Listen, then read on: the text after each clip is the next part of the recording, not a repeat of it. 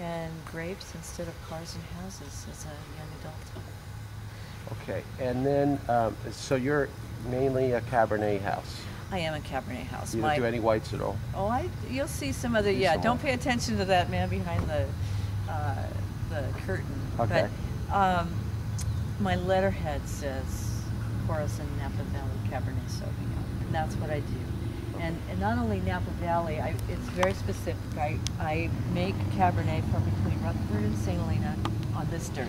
And there's only 1% of the Napa Valley is this dirt. Right. This is what made the, the Napa Valley famous was this, if you've ever heard the term Rutherford dust. Yes. Well, this be Rutherford dust right here. It's bale is it. gravelly loam. And it's the reason we bought this property because this is bale gravelly. How long ago did you buy it? Last, we closed escrow the last day in 1995. So, Yeah. So And I've been farming it organically. This is 15 Vineyard. years. Yeah, Organically.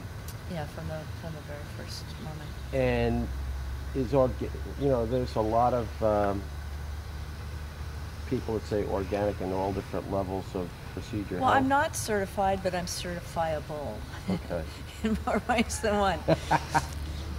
But I, so I have uh, Amigo Bob is the is the um, predominant organic consultant